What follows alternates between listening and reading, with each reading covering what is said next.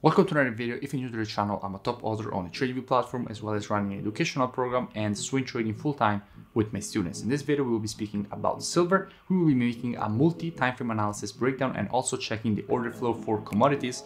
And we will also speak about the positions we took on it with students this week. So it will be very educational because you will see exactly how you're supposed to be structuring your trading plan and trading obviously from a multi-time frame and order flow perspective. So without further ado, I will invite you to watch the video until the end because it will be very valuable.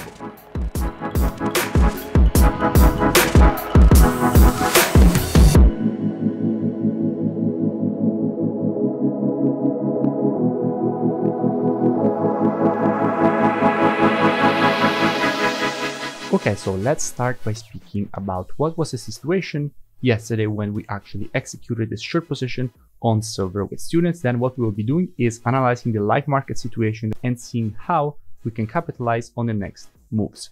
So starting here from a weekly perspective, what was the situation? We could clearly see that the market had created M formation. Now, after M formation, what do you expect? You expect the market to make a retracement to the neckline. That is exactly what the market had given us, right? Clear retest of the previous support here, now turned resistance. This area was acting as strong support turn resistance, completion of the pattern, and what you expect? Continuation to the downside for the completion of which pattern? For the completion of this impulse, correction, and impulse pattern to the downside. Another confluence area that there was here on the weekly time frame for the short to the downside was taking our Fibonacci from the high to the low. What we could clearly see is that the market was inside of the 32 and 50% Fibonacci retracement levels for the push to the downside.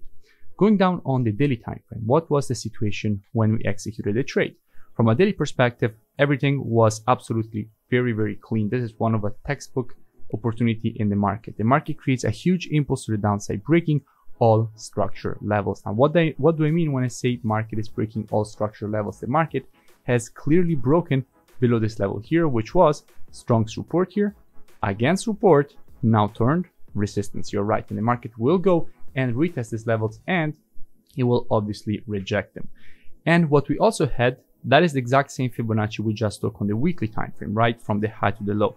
But here on the daily, we have some extra confluence, some extra details that we can get about this Fibonacci. Why? Because when we look at, it from a weekly perspective, what we didn't see was that the market had closed precisely below the 382. If I zoom in, if I zoom in here for you guys, what you can see is that overall the market closed exactly below the 382, confirming that sellers were actually interested in taking the short here. Now, let's go and see what was the situation from a COT perspective. So uh, from the positioning of hedge funds on this pair. What we can see is that overall, we're obviously we're looking at gold. Why?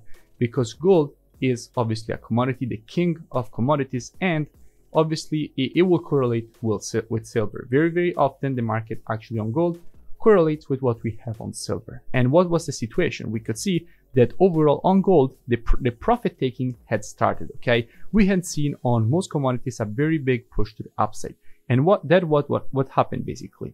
On gold, banks started to take their profits. We can see here with, with the last report, 23k long positions closed. Okay, this obviously brought net positions lower from 335k to 319k. So obviously a massive amount of shorts closed on gold, meaning that also silver should actually follow with the move to the downside, considering that silver had already made an impulse to the downside that gold had not made.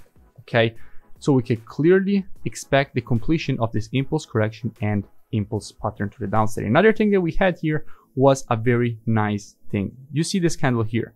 Now, when the market creates a candle that looks like this, so for example, let me draw it here for you guys, because this is both for a bullish pattern and a bearish pattern, okay? So I will draw both. One will be red and the other one will be green. Now this is a pattern that completes on all time frames, okay? Monthly, weekly, daily, 4 hours, 1 hour, 50 minutes, it always, always completes like with a very high completion rate. We're speaking about 80% completion rate. When you see a candle on the on any time frame that looks like this or it looks like this, okay? So it has a, a green body and a very long wick or a red body and a very long wick, what will happen? The next candle will actually fill in that wick. So here, here what happens, the next candle will go to the upside and here, the next candle will be a bearish candle. Now, if you go and analyze why, why is this the case? Because think about it. If you see a candle like this, what does it mean? It means that on a lower time frame, if for example you see this on the weekly time frame, on the daily time frame, what you will have a market that started here, went all the way down, then made a retracement to this level, and here the candle closed. So what do you expect? Continuation to the downside for the completion of this impulse correction and impulse pattern to the downside, right? That is exactly what you expect. So this is just to tell you basically some extra knowledge here.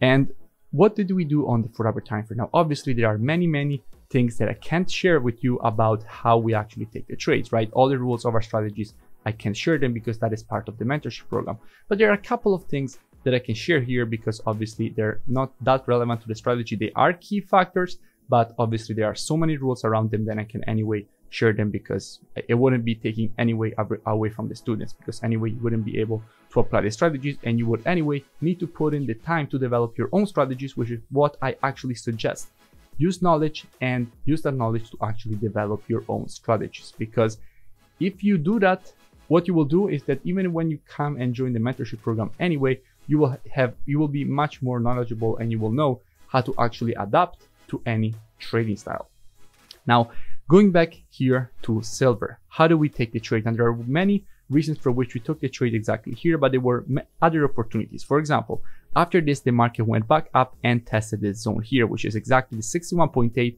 and we had this trend line to the downside and we had this previous support and resistance. This was the perfect confluence area. However, we entered a little bit lower because that is when our rules were satisfied and that is the importance of following rules. If your rules are satisfied, just take the trade, okay? No matter if there is, if you believe that the market could go higher, your job is not to basically uh, let emotions in the game, just follow your, follow your trading plan. What happened? The market made a fake breakout to the upside, back down, another opportunity to enter here for the completion of this four hour head and shoulders, and then just the market made a big push to the downside. Now, without taking obviously into account all the other rules of our strategy, this was a pretty simple short to the downside, and we just exited the position here for a nice one, two, three risk to reward. And I just want to share with you here also another key concept about risk to reward. Why is it so important that we actually had a 1 to 3 risk reward. If you fail to understand the importance of risk to reward, then you will never become consistent in the market. The reason for which I stress this so much is because for all of you that are using a 1 to 1, a 1 to 2, or even a 1 to 2.5 risk to reward, it's very hardly damaging you. Why? Because even if you think you have a 1 to 2 risk reward, it's never really 1 to 2 because you will have the spread, you will have swaps. They can be positive, but most of the times they will be. And it will never be actually 1 to 2. And even if you have, I mean, a 50% win rate, think about having a 50% win rate, but instead of having a 1 to 1 risk reward, having a 1 to 3 risk reward. That's it. What does it mean? First of all, you're tripling your uh, returns. And most importantly, even if you have a very bad losing streak. Over 10 trades, you win 3. You're still in profit because 3 times 3 is 9. Minus 7, it gives you anyway a return of 2%. So you're anyway making money. That is why I want to stress this so much. Okay, so what is the situation if you didn't capitalize on this move to the downside? How can we capitalize on the next moves on silver? Now, when it comes to impulse correction and impulse, what do you know? You know that the market, the reason for which there are corrections is because simply we've seen it already, okay? Hedge funds can't just hold their positions forever. They need retracements in order to, to create the liquidity in the market to actually fill in more orders and move the market. So that is why you will never see the market just go straight to the upside or straight to the downside. There will always be retracements along the way. Now, in this particular case, we already seen one retracement and we should see another retracement when this next impulse to the downside is completed. However, our job as traders is to be reactive in the market and not predictive. What does it mean? It means that overall, we won't be interested in this long to the upside. We're interested in the next, basically, impulse to the downside. So, how we will be approaching silver with students for the next basically trading days and weeks? Well, the situation is pretty simple. We know that we can still have some more profit taking on commodities because gold, we have 366k net positions. So we definitely want to see more profit taking and obviously the possibility to make a push to the downside, more pushes to the downside. So what we will be doing, the situation is pretty simple. First of all, we won't be interested in this long. What we will be interested in is if this long will come. Okay, you have to understand how you have to think here. It's not about after the retracement. It's about if the retracement will come and the market will actually go and retest this level. What we know? We know that this level is extremely strong support here, extremely strong support here, preceding all this huge push to the upside. So this level will be very interesting because there will be a lot of short positions inside of here and definitely the market should go and retest this level. So if the market will make a retracement back inside of this area, what we will be doing with students, again, we will be monitoring price action on the 4 hour time frame inside of this region. If the market would provide to us one of our valid entries inside of this area, then we will be taking a nice short with a very high risk reward and very high probabilities for a nice push to the downside. Very important to say this. So if the market will make a retracement and inside of here we will see the market shift again to the bearish side on the 4 hour time frame and we will see the market provide one of our valid entries. Then we will be taking this nice short. Good risk to reward and good probabilities for the push to the downside. And as you know trading is all about probabilities and risk to reward on the other side. If when the market will approach this area from a 4 hour perspective okay on the four hours, the market will just keep pushing and pushing and pushing to the upside. The market will break this area to the upside. Now, if the market breaks this area to the upside, what is the next the next reasoning? Because you know that as traders, we always have to be adaptive to the situation that there is in the market. And what we will be doing? Well, it's pretty simple. What we will be doing is simply waiting for the next retracement to retest this level. Why?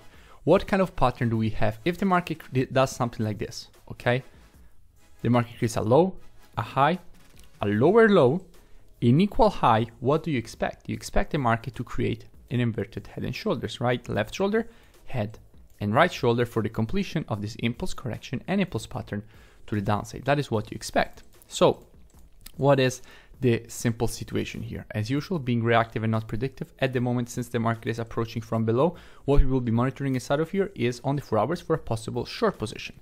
And then what we will be doing after the break, if, if the break will come, obviously, and the market here on the four hours will just keep pushing, we will be monitoring there for a long. But at the moment, since it is below, we will be monitoring for a short. Now, if you if you don't know what it means, monitoring price action on the four hours, it means you don't have rules for entry. It means that you what we will be doing will simply be waiting.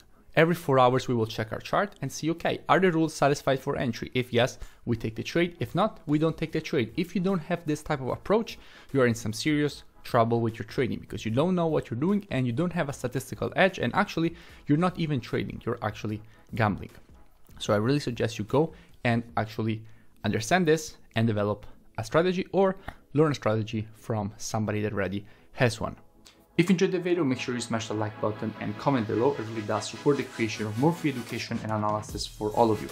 I also suggest you to go and check out the mentorship program. It's a very complete program. You first get all the rules of my strategies and then you trade them with me. Each and every day I give you a new daily market breakdown showing you exactly how you're supposed to be approaching your trading. So basically how to apply the rules with your entries, stop and take profit in live market situations. So you're basically trading with me and you also get me to answer every question that you have each and every day, including the weekend. So I, I really do invite you to go and check it out or go and check out the next video.